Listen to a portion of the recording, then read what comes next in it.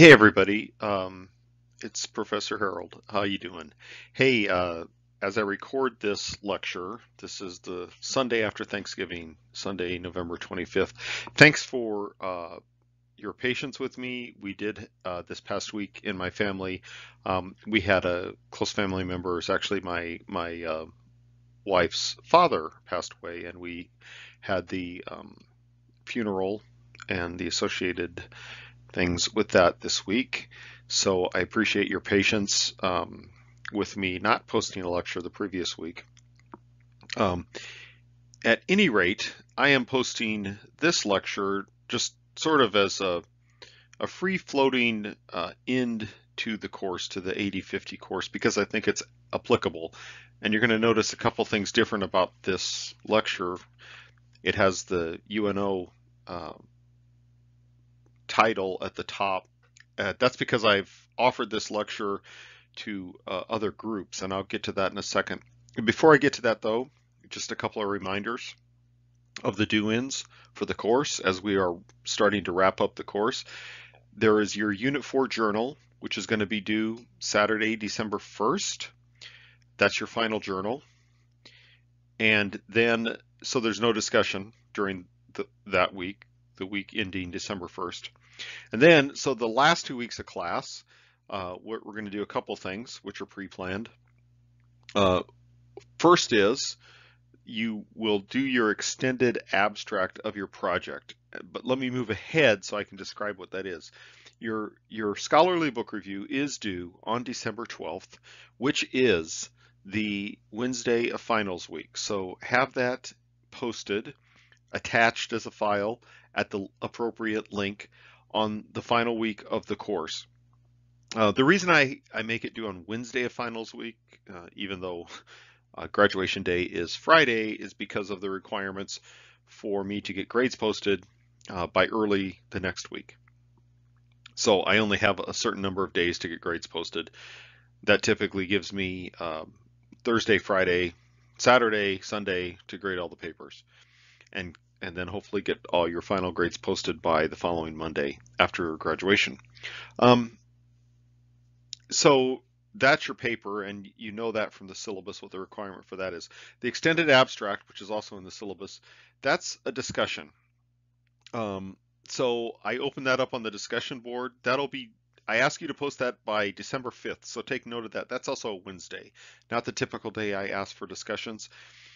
Uh, on this one, what I want you to do is write a about a 300 word abstract um, describing the work that you wrote on. And this I find to be useful because uh, all of the students can then see the various works that you all wrote on and and actually get a hint as to whether or not they'd like to read that book. I think it's a really useful exercise. For that one, I don't require you to comment back to each other, but I do encourage you to do that. Okay, so let me get to this lecture, which I think is a good wrap up for the course, for the 8050 course. It relates directly to 8050. So uh, it, the reason the banner, the UNO banner is on this is because I've offered this at um, different um, speaking engagements. The last time I did this, I, I gave this to a group of uh, civilian employees of the Army, U.S. Army Corps of Engineers. Um, and so you'll see some references to the U.S. Army Corps of Engineers in this talk. Um, but I, I, call this talk leading as a bureaucrat because all of these people, uh, I whether they wanted to be known as bureaucrats or not, I, I start out the talk by informing them that in fact they are bureaucrats. And so how do they lead as bureaucrats?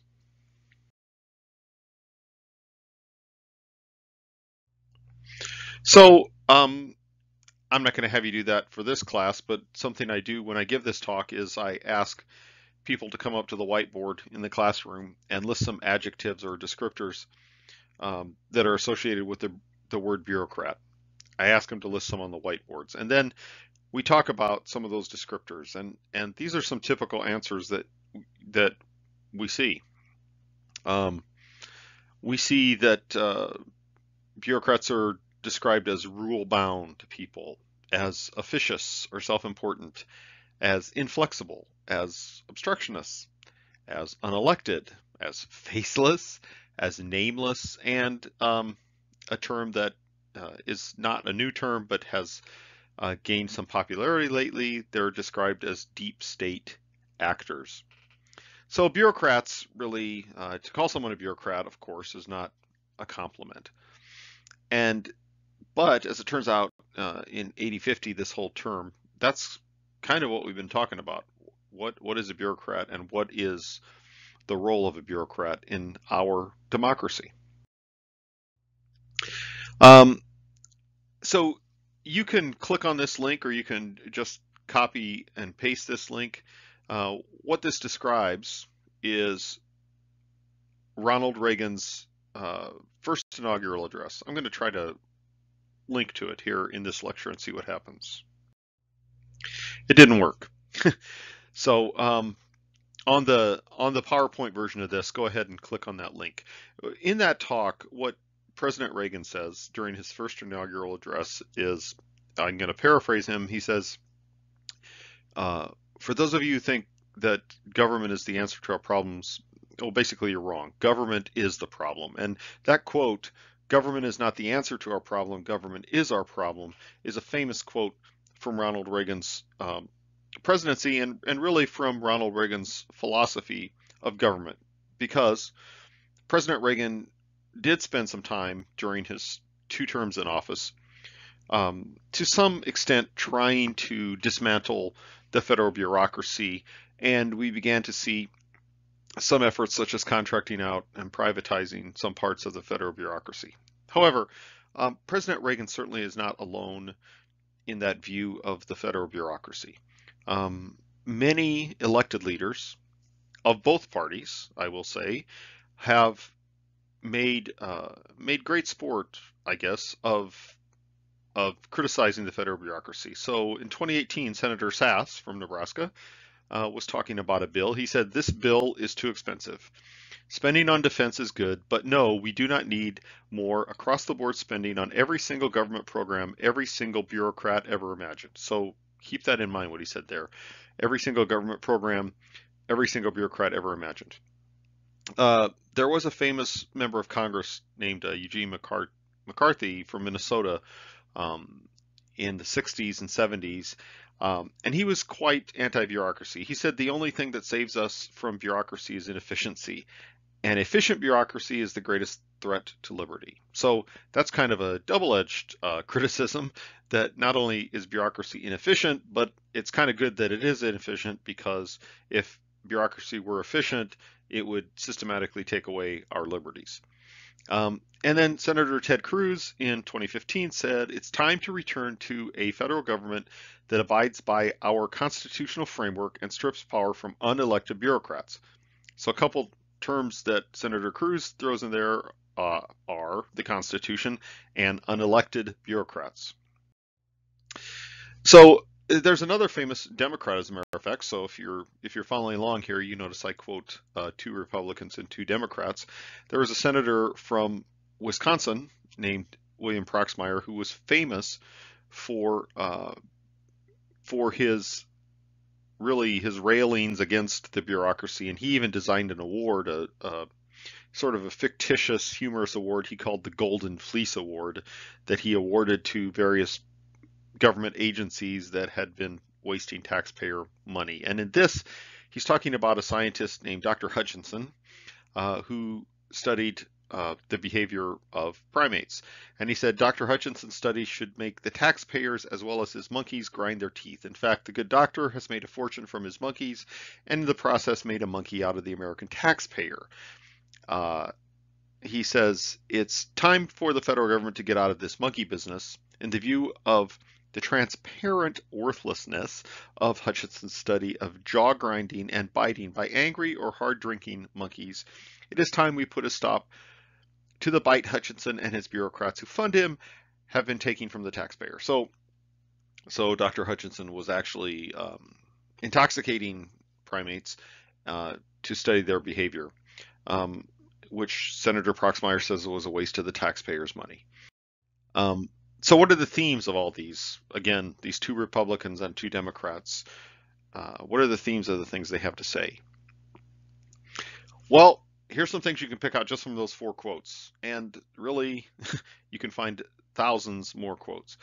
But one, bureaucrats are inefficient. Uh, two, bureaucrats waste money and, and really like wasting money, as Senator Proxmire was talking about with the scientist, Dr. Hutchinson.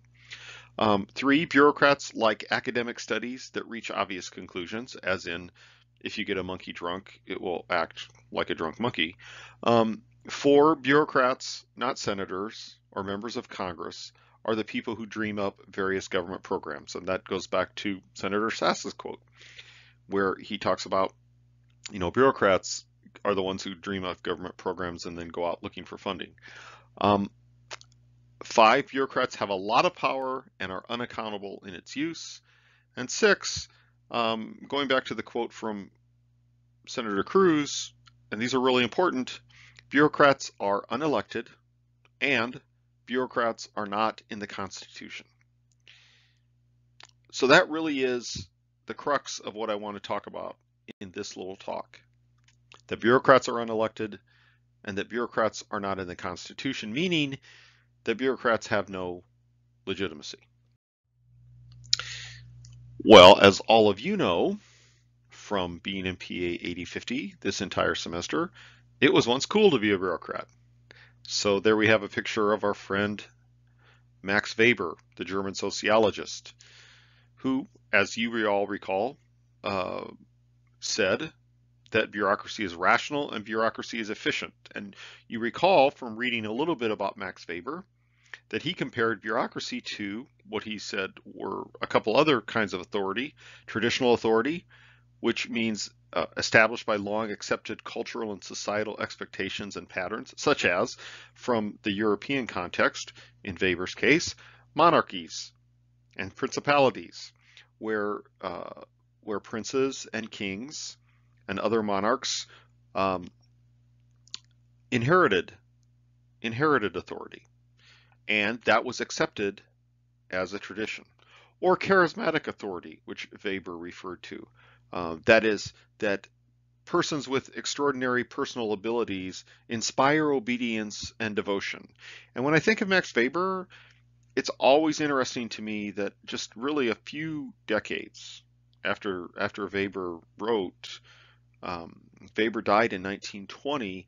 Um, Germany was completely changed by a person with charismatic authority, um, and uh, Europe was completely changed by uh, persons with charismatic authority.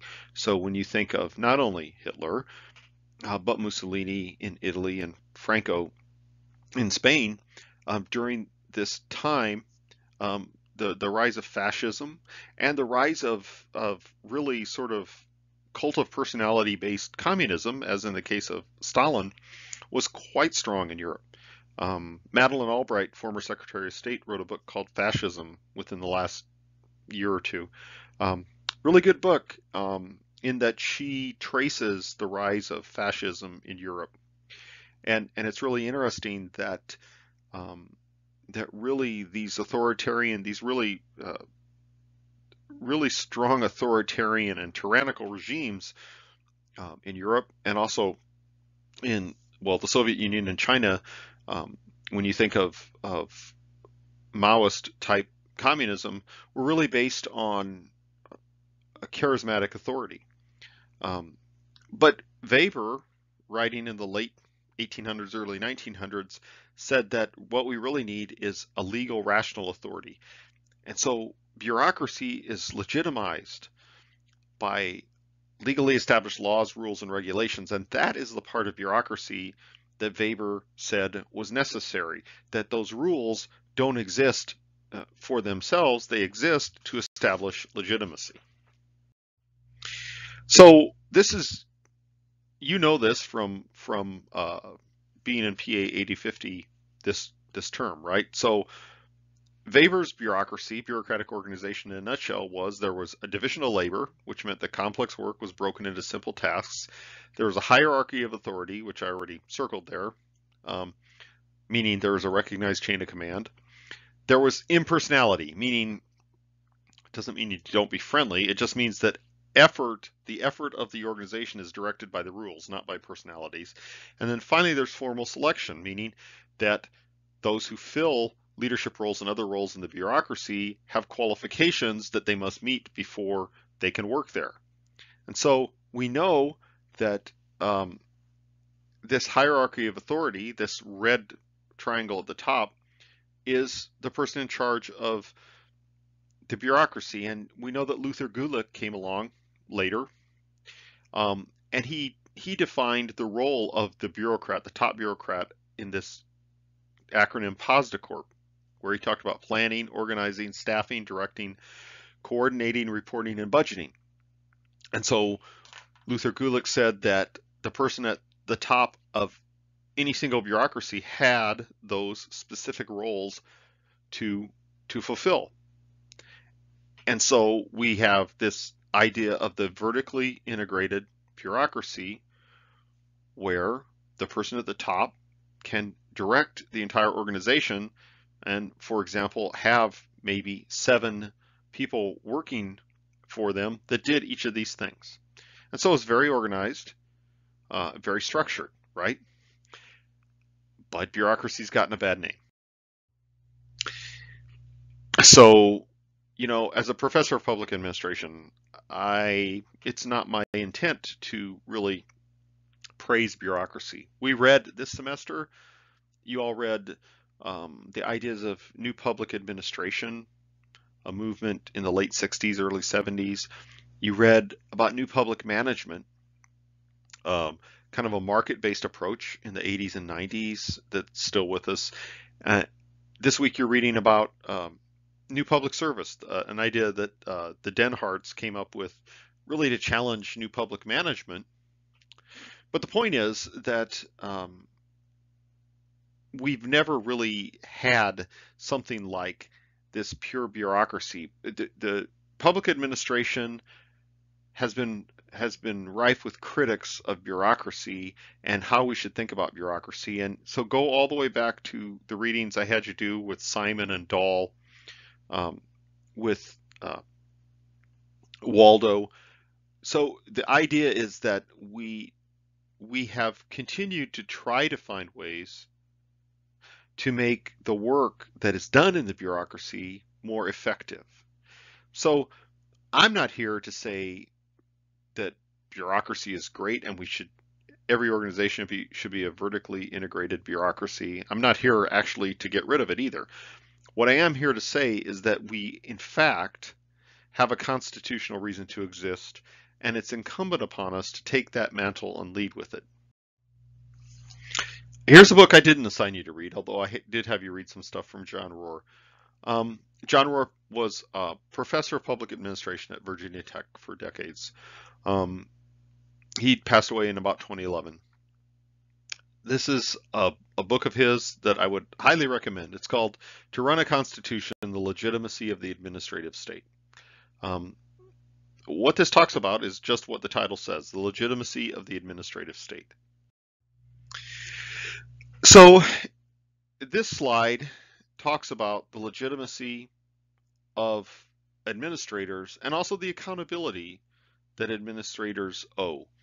Because you recall I had you delve into the Bell, California case a little bit, um, and we talked about ethics.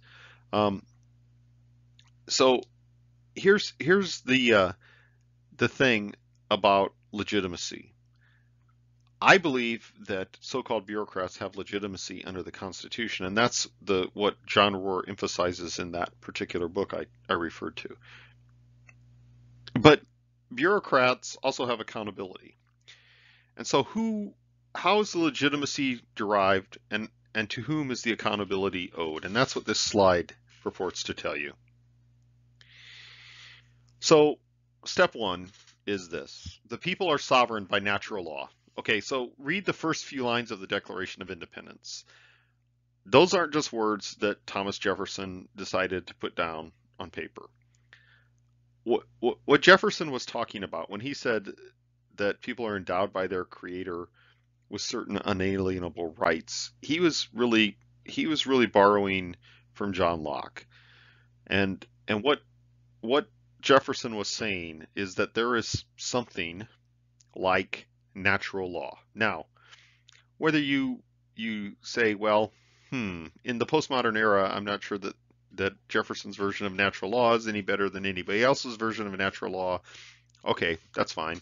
But that's what Jefferson was referring to the idea that there is some natural law which makes people um, both free and sovereign. Now, the fact of the matter is that the founding generation, um, some of them strongly believed in slavery and, and so were compromised by that. Some of them didn't strongly believe in slavery but, com but compromised that position in order to form a constitution. And so we, it's problematic. But there is the idea that the people are sovereign by natural law. And so the people form a constitution. So now go to the next document, uh, the Constitution. And that starts out in the preamble by saying, we the people. So what the point Rohr makes in the book is that the act of founding the nation under the Constitution, the nation wasn't necessarily founded by the Declaration, the nation was founded by the Constitution. Um, the act of founding under the Constitution uh, was a sovereign act. So the Constitution was ratified by all the existing states at the time, and that was a sovereign act. So that founding act provided legitimacy to the Constitution. And then the Constitution itself legitimizes the formation of government through direct and indirect elections, appointment with advice and consent, and direct appointment. Okay, so what's that statement say? What, what that statement says is that the so-called officers of the government. So if we, we think of the officers of the government, we're thinking about the president, the vice president, the members of the Senate, the members of the House of Representatives, the members of the Supreme Court, and many others, many others, uh, including cabinet secretaries, including judges in lower courts. The point that Rohr makes in the book is that all of those officers are put into office not only by election, through direct elections, that is, but by indirect elections. So remember, the original Constitution, the only people in office at the national level who were put there by direct election were members of the House of Representatives. The Senate was indirectly elected. The president was indirectly elected. Supreme Court justices and other lower court judges are appointed by the president and approved by the Senate through the advice and consent process. Rohr tracks, he researches and tracks 22 separate ways that a person at the national government level can be put into office. 22 separate ways. Not all of which are election. So elected, directly and indirect officials or officials legitimized by the constitutional process make laws and policy and establish rules for operation of departments and agencies, as well as establishing frameworks for establishing administrative policy and rules. Okay, what's that mean? That means that the Congress, essentially, and the administration do in fact write laws and policy, but they also establish rules for the operation of departments and agencies at the national government level, and they make they set up by law the framework for how those agencies operate. That means that administrators who are legitimized by this constitutional process carry out policy, and they also make rules as authorized. So I think we may have talked about the Administrative Procedures Act of 1946. If we didn't, uh, um, look it up the Administrative Procedures Act of 1946. We have in our system of government, we have laws. We also have federal regulations. And there has been a great deal of talk during the last two years about dismantling the, the structure of federal regulations. As if those federal regulations were put into place in the middle of the night by faceless, nameless bureaucrats. They weren't. They were put into place under a process approved by Congress starting with the Administrative Procedures Act of 1946. And furthermore, judges legitimized by a constitutional process periodically rule on the constitutionality of laws and policy. So we know this, right? We know that this is what the Supreme Court does. Judges have also been criticized as entering into the legislative process, making laws as judges. Nevertheless, they have legitimacy to do that. And finally, administrators, you and me, are organized in some rational manner, and we use imposed rules as well as granted discretion to carry out law and policy on behalf of the government. So go to the left side of this chart, the legitimacy arrow goes down. The legitimacy arrow flows down from all the way back to the people who are sovereign by natural law, and particularly the Constitution. But go to the far right hand side of this slide, and there's the accountability arrow which goes up. So to whom are we accountable? We are accountable to the elected officials. We are accountable to the Constitution, ultimately. And it is not as if bureaucrats can escape their constitutional accountability. They can't. And so, in general, this applies not only at the national level, but at the state level and the local level as well. Might have to change the terms a little bit. But in general, this is how we link legitimacy and accountability. And so I have some insights from that. Um, at the national level, the formation of departments, agencies, and independent regulatory agencies by Congress has constitutional legitimacy, unless the court says it doesn't. So the philosophy of employment for government uh, generally has transitioned, right, from our founding era, from agencies run by elites through a spoils system, famous, famously popularized by President Jackson, through a qualification for office system um, which is what Wilson was talking about. That the employees of these organizations are legitimate, not because they say so, but because of the Constitution. And that the employees of these organizations are accountable as well. That's my other arrow, right? So who are we accountable to? We're accountable to the people, to the Constitution, to the executive, to the legislative, and to the judicial. Well, that might cause some conflicts, right? Because the executive might say one thing and the Congress might say something else. But this is what we fight over in our constitutional system.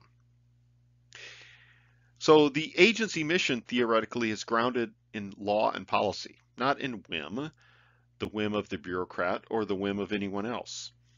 Uh, employees are qualified professionals, not spoilsmen. That was the term that was used um, under the spoils system. And employees are removed from office for being unqualified, not for having other ideas that, uh, that are in conflict with the ideas of the executive or the ideas of someone in Congress.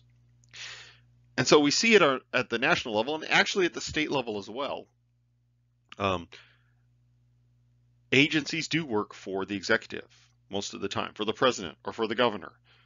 But the legislative body, be that Congress or the state legislature, has oversight.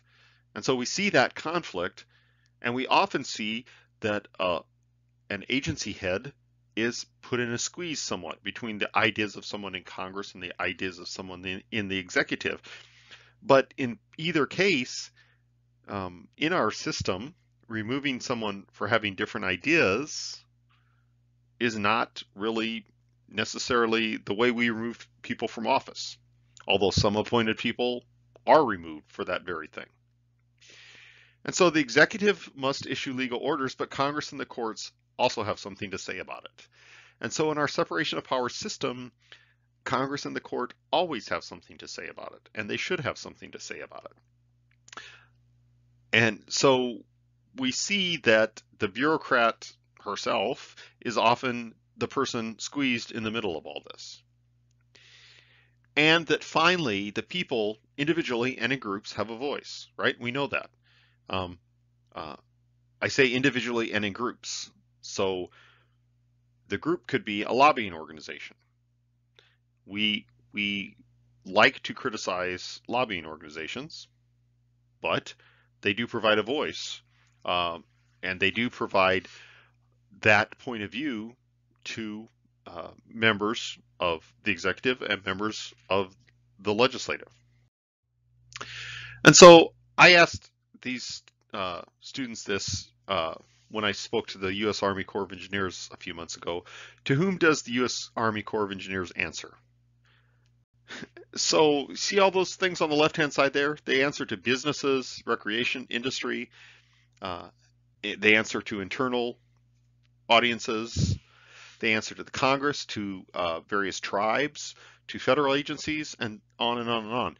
The Corps of Engineers does does water management projects, as you know, um, but they have lots of constituencies. And actually, I didn't make these up. These came from a letter by the person who in 2002 was the commander of the U.S. Army Corps of Engineers, a lieutenant general in the Army. So he said, here's all your constituencies. Now look at that list of constituencies, and you can easily see that recreation interests and business interests might be in conflict with each other. You can easily see that environmental interests and industry interests might be in conflict with each other, right?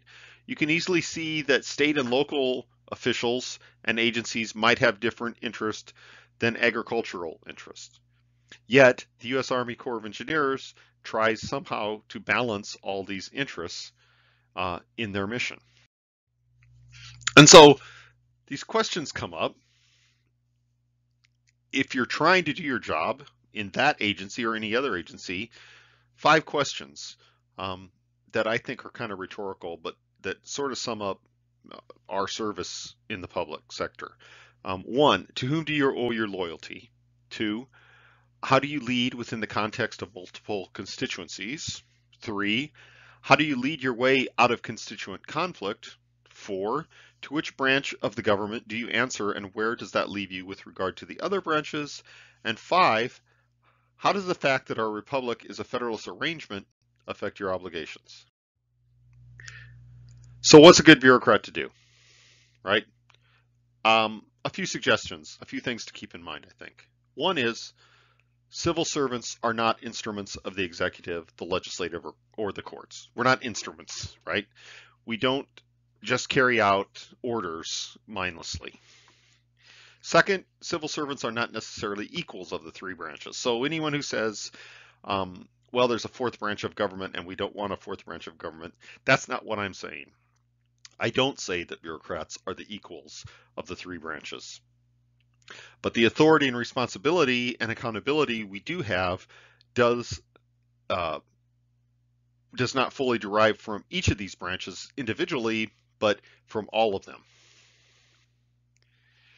The representatives of the people are not only the people elected to the House of Representatives or the Senate. In, in a very real sense, uh, those of us who work in government are representatives of the people. Um, finally, the, the source of your authority is the Constitution, not somebody's whim. You have been granted discretion as a public official, but that discretion doesn't mean you make arbitrary decisions. They have to have a grounding. You have to recognize you're accountable to the Constitution, but to other constitutional entities as well, meaning those three branches. And you recognize there will be conflicts of expectations within these accountability relationships. Uh, and you recognize that administrative answers should be consistent no matter who's asking. I think that's a really important one. Um, you don't tell, if you're at the state level, you don't tell the governor one thing and tell the legislature another thing. Um, and finally, recognize that at some point, um, all this standing on principle that I'm talking about might be a tad unpopular with certain people, uh, and you will be called a faceless, nameless, unelected bureaucrat. So thank you for your attention this term. I'm looking forward to wrapping up these final three weeks and seeing what you have produced. Thanks.